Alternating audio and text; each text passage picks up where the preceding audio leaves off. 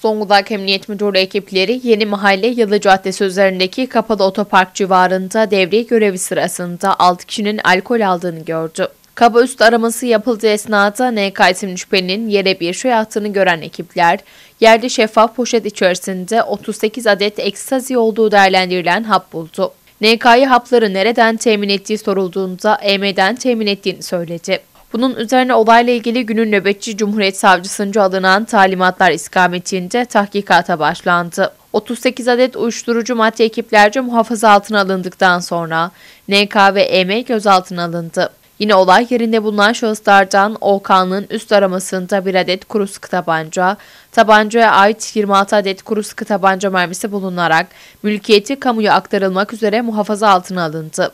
OK hakkında idari yaptırım uygulandı. Nöbetçi Cumhuriyet Savcısı talimatları istikametinde gecikmesinde sakınca bulunan hal çerçevesinde şüpheli şahısların ikametinde ve araçlarında arama yapıldı. Ancak herhangi bir suç unsuruna rastlanılmadı. Ev aramaları esnasında şüphelilerden EM'nin babası olan HM'nin yapılan sorgusunda tehdit suçundan 5 ay hapis cezası ile arantığı ortaya çıkınca gözaltına alındı. Gözaltına alınan şüpheliler NK ve EM ile yakalama emri gereği gözaltına alınan HM, Çağcuma Cumhuriyet Başsavcılığına sevk edildi. Şüpheliler NKVM isimli şahıslar ifadelerinden sonra serbest bırakıldı.